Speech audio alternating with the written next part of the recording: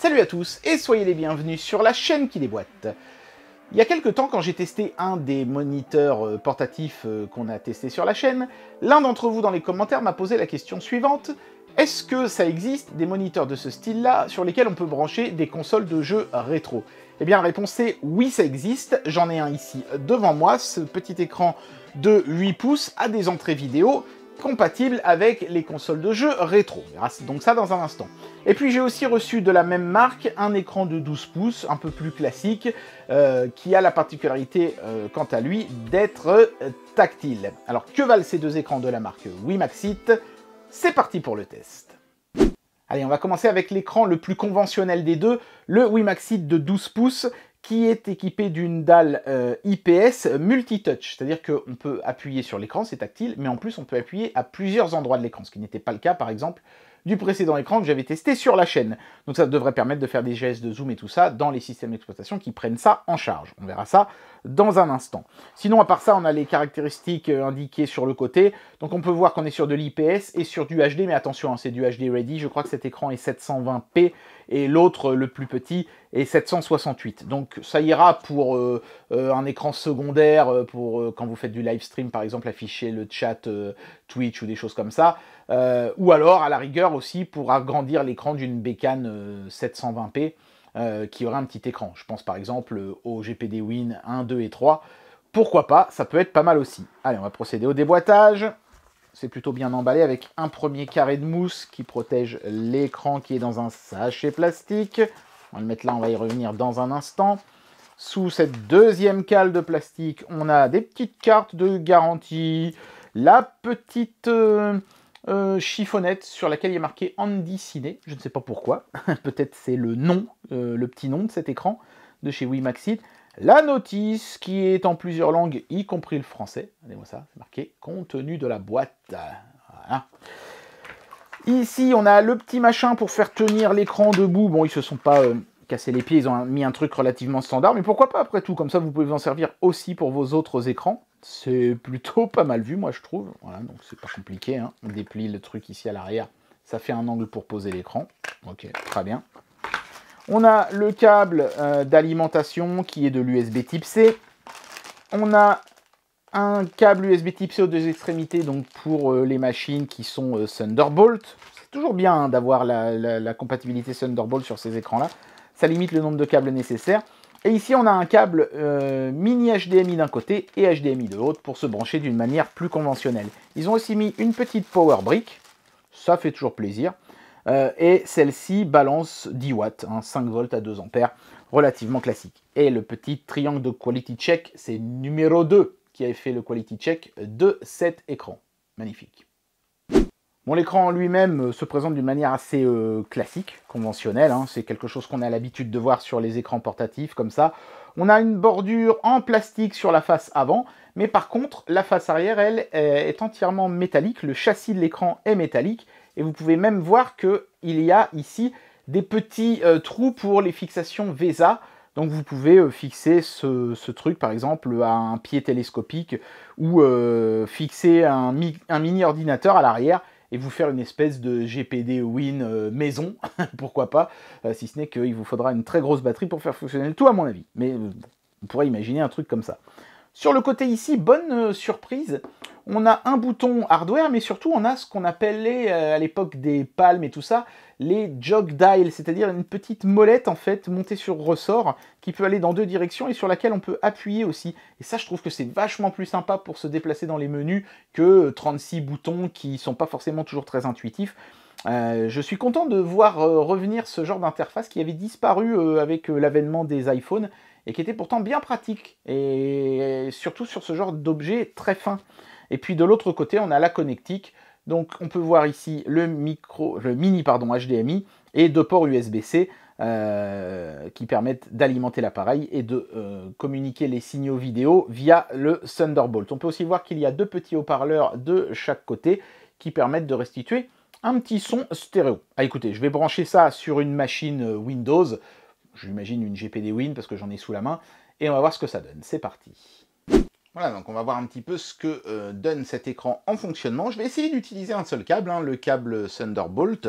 Je prends d'ailleurs le cordon qui est inclus avec l'écran et je vais y brancher un appareil qui a bien besoin d'un écran plus grand. Par exemple, ma petite GPD Win 2. On va la brancher directement au port Thunderbolt au cul de la machine parce que oui, la GPD Win 2 est Thunderbolt.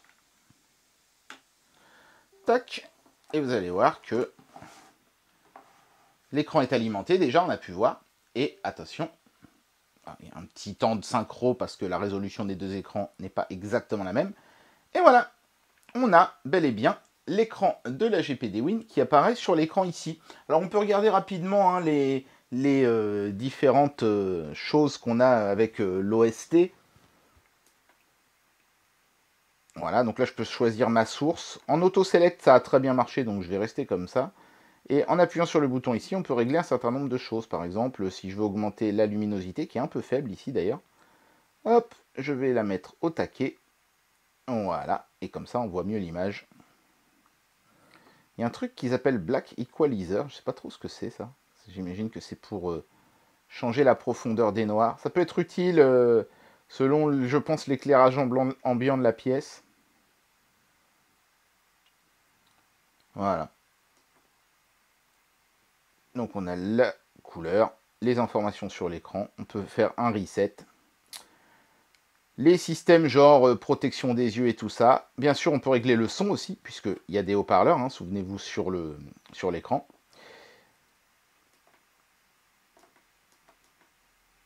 J'aime bien hein, cette, euh, cette, petite molette là, je trouve que c'est euh, très pratique moi. Voilà, on peut changer euh, des options comme euh, la langue de l'OSD bien sûr. On peut aussi forcer l'écran à se mettre en 4 tiers pour les consoles ou les choses comme ça qui ont encore de l'image en 4 tiers. Changer la température de la couleur. On peut même régler la position horizontale et verticale de l'écran. Ça se raréfie hein, sur des écrans LCD. Ça fait plaisir de voir ça ici. Voilà. Et on revient au menu de base. Non, c'est bien fait. C'est vraiment euh, très bien foutu. Je vais essayer de faire une vidéo, un truc comme ça pour voir ce que ça donne. Allez, on va regarder euh, une bande-annonce de ma chaîne, ce sera un bon test. Vous remarquerez qu'on a l'impression que la GPD Win 2 est beaucoup plus euh, lumineuse et, euh, blanche, hein, entre guillemets, en termes d'écran que, la, que la dalle de chez Wii Maxit. Mais c'est normal, hein, la GPD Win 2 a un écran vraiment exceptionnel. C'est une dalle super IPS. Là, on est sur de l'IPS simple. Par contre, ce que j'apprécie, c'est que là, on est en anti-reflet, alors que là, non. Et c'est agréable, surtout sur une dalle plus grande, de ne pas se taper masse de reflets, ce qui est un peu un problème sur la GPD Win 2 d'ailleurs. On va mettre. Donc là, le son sort bien sur l'écran ici. Je vais essayer de le mettre plus fort. Ah bah, on est à fond. Je vais essayer de le mettre plus fort ici.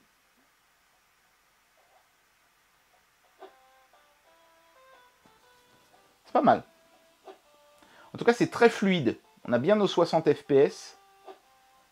On voit bien, notamment sur la transition, là, que ça ça fait pas de tearing ou de choses comme ça. Donc c'est très très cool. C'est un écran relativement simple hein, et euh, je répète HD euh, ready. Comme la GPD Win 2 et HD ready aussi, ça passe très bien. Borderless.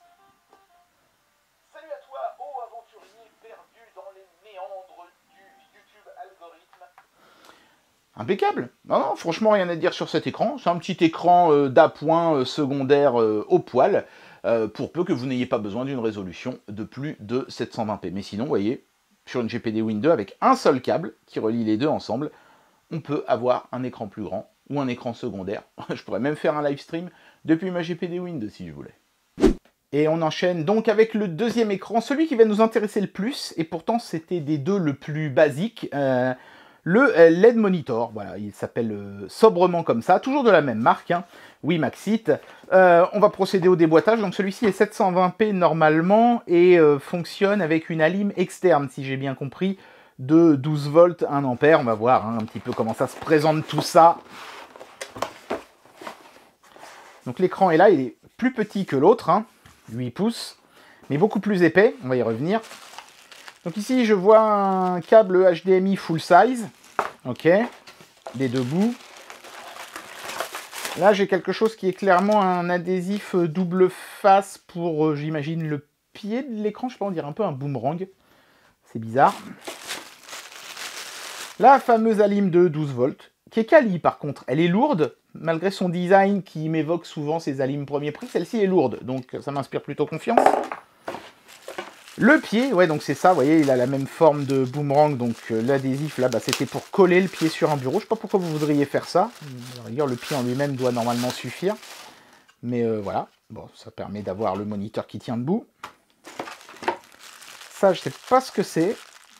Ça a l'air d'être un raccord ou un truc comme ça. Oui, ça a l'air d'être ça. Peut-être une charnière pour une rotule. Une rotule pour orienter l'écran. C'est ça? Ah ouais, ah, ça c'est pas mal, tiens. Comme ça, on peut vraiment orienter l'écran dans le sens qu'on veut. C'est pas bête, mais il fallait y penser. Et puis, dans les deux blocs de mousse ici, on a la doc. Donc, on retrouve le petit manuel. J'ai pas l'impression qu'il soit multilangue celui-là. Ah bah si C'est marqué en français, mais vraiment, le, ouais, c'est vraiment euh, deux pages pour euh, avoir les, informations. Voilà, mais c'est bien du français. J'ai fait tomber honteusement le triangle de quality check. Cette fois-ci, c'est le numéro 12 qui a fait le quality check. Regardez-moi ça. Hop là. La petite chiffonnette qui a toujours ce même nom là, Andy Ciné. Je ne sais pas trop pourquoi. Est-ce que oui, Maxit a changé de nom entre temps Possible. La petite carte de satisfaction. Et c'est tout. On va regarder l'écran de plus près. Voilà, donc la grosse particularité de cet écran, hein, c'est ce que je disais en début de vidéo, c'est qu'il a plein d'entrées et que va donc pouvoir y brancher des produits un petit peu plus rétro que d'habitude. Il y a un film écran que je vais enlever, parce que moi je veux savoir si c'est du anti-reflet ou pas. Manifestement, en général, quand il y a ce genre de film écran, c'est pas le cas, c'est une dalle brillante. Ce qui est le cas, c'est une dalle brillante. Bon, pourquoi pas, sur une petite surface comme ça, c'est moins gênant à vrai dire. On retrouve un système de ligne de boutons, donc là, clairement, sur l'interface, ils se sont moins cassés les pieds que sur l'autre écran. Euh, mais par contre, ce que j'apprécie sur cet écran, c'est qu'il est métallique de partout, y compris sur les bordures avant, alors que sur l'autre, c'était un plastique collé. Euh, donc euh, je trouve que la qualité de construction de celui-ci est peut-être plus simple, mais en revanche, elle est plus robuste, plus solide. Et surtout, alors ce qui va être intéressant sur cet écran, c'est la multitude de branchements qu'on y trouve en dessous. Donc il y a la lime qui malheureusement est euh, externe et c'est pas de l'USB type C cette fois-ci, il faudra mettre du 12 volts. On a une entrée VGA, euh, donc on pourra brancher euh, un vieux PC qui n'était pas compatible HDMI, ça c'est pas mal. moi par exemple quand je dépanne des vieilles bécanes chez les clients et que c'est leur écran qui est en panne, je pourrais emmener ça et tester, voir si c'est bien leur écran qui est naze ou leur carte graphique par exemple, donc c'est peut-être ce que je vais faire. Le HDMI bien sûr pour tout ce qui est moderne. Ici, de l'USB, alors je ne sais pas trop à quoi ça sert, mais j'imagine que cet écran est capable de lire du contenu sur la carte, faudrait que je regarde dans la notice. Et chose la plus intéressante, on a du BNC, donc ça c'est pratique par exemple pour les caméras de surveillance ou les trucs comme ça, et le fameux composite ici stéréo en plus, donc qui va permettre de brancher notamment les consoles de jeux rétro. Et c'est là-dessus que, bien sûr, vous vous en doutez, je vais axer mon test. On va brancher une petite console là-dessus et voir ce que ça donne. C'est parti voilà, donc quand on allume l'écran, on arrive sur une dalle bleue qui est plutôt propre, il hein, n'y euh, a aucun pixel mort et euh, la luminosité est franchement pas mauvaise et pourtant elle n'est même pas réglée à fond. Euh, c'est pas mal, pour le moment c'est net et précis, ça me plaît bien. Donc ensuite on appuie sur les boutons hein, pour faire les différentes choses, donc on peut allumer et éteindre l'écran avec le premier bouton évidemment. La bonne nouvelle c'est que l'écran s'allume plutôt vite, on a juste ce petit logo Oui Maxit qui apparaît pendant même pas 10 secondes, et ensuite hop, voilà, le signal vidéo est en attente. Avec le deuxième bouton, on change l'entrée vidéo. Donc moi, je vais me mettre sur audio-vidéo parce que c'est ce qui nous intéresse. Hein. Vous voyez, j'ai déjà branché un câble et on va euh, essayer une console dans un instant. Et puis le bouton suivant permet d'accéder à l'OSD. Et l'OSD va vous permettre de régler l'image. Voilà. Euh, sauf que là, c'est pas ce que je voulais faire. Voilà. Hop. Pardon. Le son. Euh, vous pouvez mettre un timer pour que l'écran s'éteigne automatiquement au bout d'un certain temps. Et puis vous pouvez changer d'autres réglages comme la langue de l'OSD et les choses comme ça. Et même faire un, software update par USB euh, du firmware de l'appareil. Voilà donc à quoi servait cette mystérieuse prise USB. C'est pas pour pouvoir lire des fichiers, c'est pour pouvoir mettre à jour l'écran. C'est pas mal. Le dernier icône n'est pas accessible. Je pense que c'est une icône qui est présente uniquement pour les écrans qui sont équipés d'un tuner, ce qui n'est pas le cas de cet écran-ci. Allez, maintenant, on va brancher une console et voir ce que ça donne. La euh, PlayStation 1 voilà, parce que je l'avais sous la main, voilà. Je sais même pas si elle marche, je l'ai même pas testé avant le test, je sais, c'est totalement indigne de ma part, qu'est-ce que vous voulez que je vous dise hein. On n'est pas sur une chaîne euh, YouTube professionnelle ici. Hein. Donc on va brancher euh, l'audio vidéo, c'est dans ce sens-là. Hop. On va brancher le jus pour la console. Hop là. Tac. Ça va, ça tient sur le bureau, tout va bien. Euh, je vais brancher une manette à l'avant de la console, ça peut servir, même si bon, déjà si je vois l'écran de boot de la console, je m'estimerai content. On va mettre un petit jeu, Micro Machine, un must de la Play. Hop. Et on va voir ce que ça donne, c'est parti.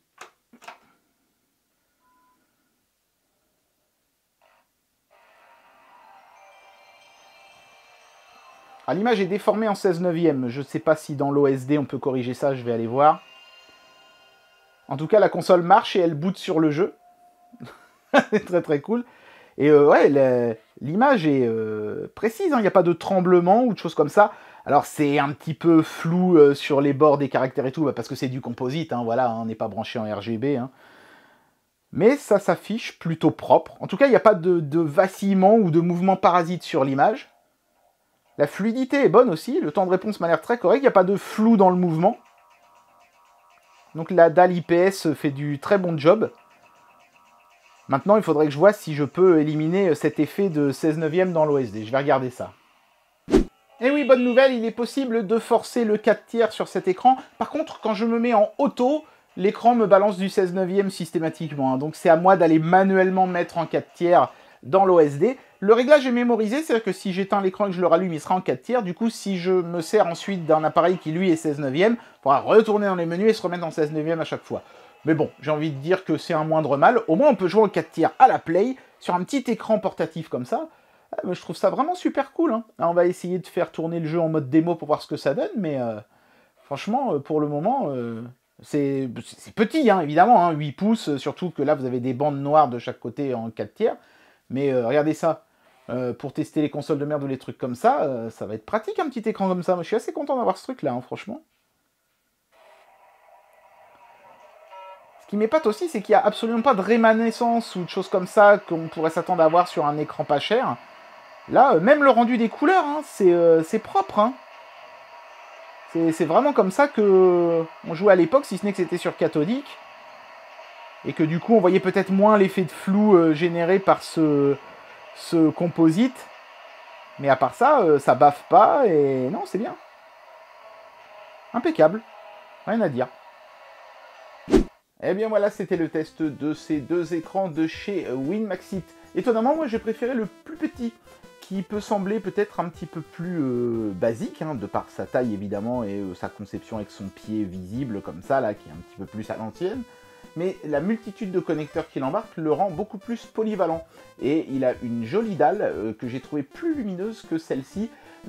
Cet écran-là, c'est clairement un écran secondaire euh, de grande taille, bon marché, hein, c'est comme ça que je le vois. Il est néanmoins de bonne qualité et il est anti-reflet, mais il y a des trois finitions qui sont un petit peu euh, simples et la dalle n'est pas exceptionnelle, notamment en termes de luminosité.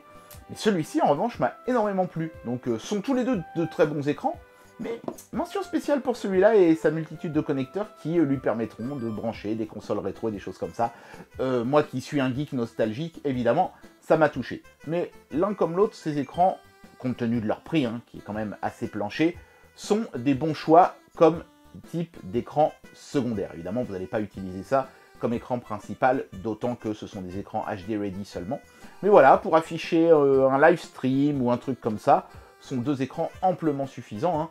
Et je vous le répète, celui-ci, il prend vraiment pas beaucoup de place, il est capable d'afficher plein de choses différentes. J'aime bien moi celui-là. Deux bons écrans et un petit coup de cœur pour celui-ci. Et bien voilà, c'était le test de ces deux produits de chez euh, Wimaxit. Évidemment, c'est toujours pratique hein, de pouvoir brancher euh, ces consoles de jeux rétro sur ce genre de petits moniteurs. Mais pour moi, jouer à des consoles rétro, c'est sur des télés rétro elles aussi, autrement dit sur des bonnes vieilles cathodiques. Mais bon, après, j'imagine que tout le monde verra midi à sa porte. J'espère en tout cas que cette vidéo vous aura plu, et moi je vous dis à très bientôt pour un prochain test. Allez, tchuss